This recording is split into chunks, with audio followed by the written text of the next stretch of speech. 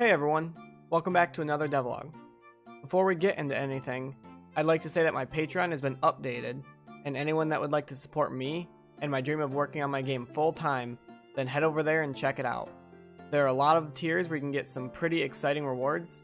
I really appreciate anyone for even considering it, and I'll have a link in the description. Now on to the exciting stuff.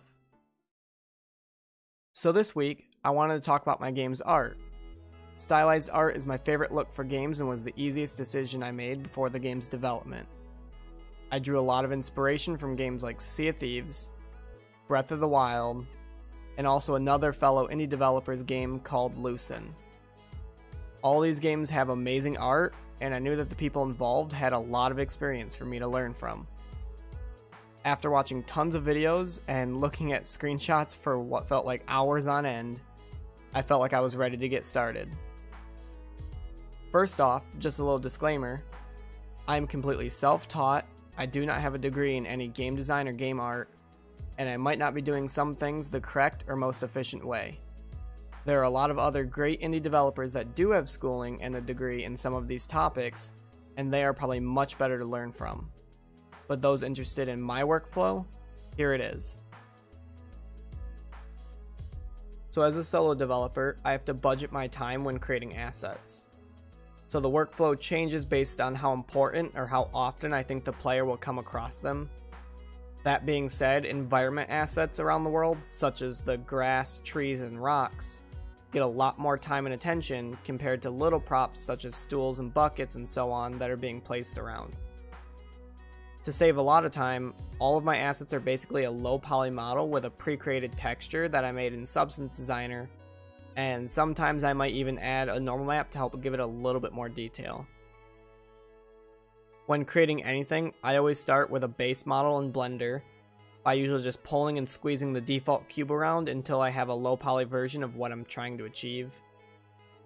After that, I go in and try to exaggerate parts of the model to give it that stylized look. Usually this means scaling and rotating random ends to give it some character, and then going in and adding some loop cuts and rotating them around to make things look bent and worn.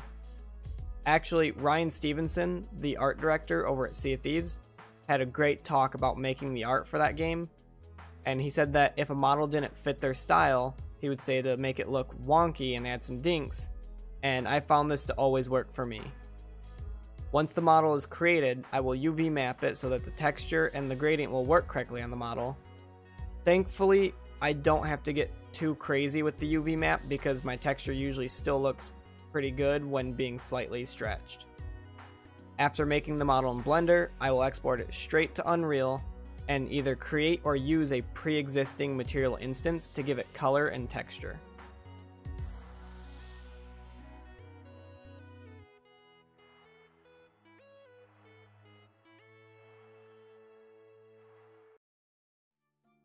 For my textures, I have four different base textures that were all made in Substance Designer with two maps and a slope blur grayscale node.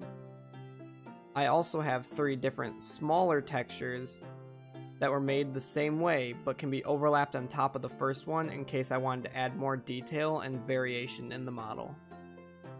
All of the textures are in a grayscale so that I can quickly create a gradient map in Unreal Engine to mess around with the material and this is how I can use only one texture and still get many colors without having to switch back to designer every time I want to create something with a new color. For the lighting, I try to make it look colorful and exaggerated to give it that stylized feel.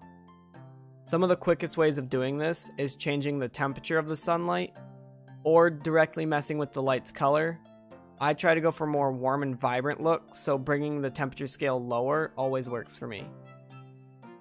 Next, I place in a sky atmosphere to give it that very bright blue sky and add some more colors onto the scene.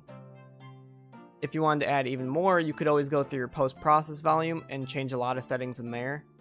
I personally don't change much in there, but I do enable ambient occlusion in some areas such as cliffs and rocks, but I don't want all of my assets to have ambient occlusion or else it would remove that soft and kind of cel shaded look.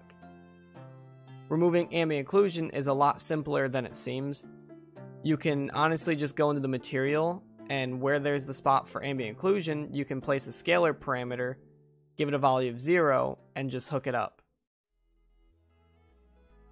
Lastly, I know this was a shorter devlog, but over the last three weeks since the last one, there hasn't been much to talk about. I spent a lot of time creating models and sculpting a lot of the terrain, so I thought some people would enjoy seeing a deeper look into how the game is made. And if you did enjoy, don't forget to leave a like and subscribe, and maybe we can somehow make it into YouTube's magic algorithm. I'm also still streaming over on Twitch every weekday, Monday through Friday, starting at 10 a.m., and I'll have the link for that in the description. Thank you everybody for watching, and thank you to Kiwa's Taken and Midnight Pixel for your support on my Patreon. I really appreciate it. I hope everybody has a great day. Goodbye.